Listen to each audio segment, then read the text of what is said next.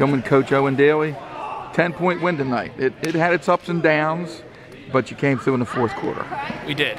You know, we uh, this was one of those games that I think both both us and Curley really really wanted to get because we've we both had a rough start to our season. And I think that both teams early on showed that they're you know we're still working out that rust and trying to develop that trust factor that and sometimes when you lose you start to think about what's going on a little bit too much instead of just playing. But uh, you know our message to the guys was you know, check the egos at the door and, and let's play unselfishly. And I think that we did. And even with our, our guys who last year, uh, Ryan Ripken and Cyrus Jones, guys who usually take the majority of shots, teams are starting to try to take them away in certain games. So other guys have to step up and, and their willingness to to be smart with the ball and to be unselfish with the ball and get guys like Chad Copeland open looks, get guys like Stephen Coteen open looks in the corner. I mean, those guys stepped up and made plays, and the uh, the leaders, Ryan and Cyrus and Darius Jennings, they you know, they checked their egos and they were very unselfish and they, they gutted that one out. They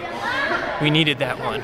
You know, we, we really needed that one, so we're happy about well it. Well said, Coach. No further questions. All right, great. Thanks, Thanks a lot.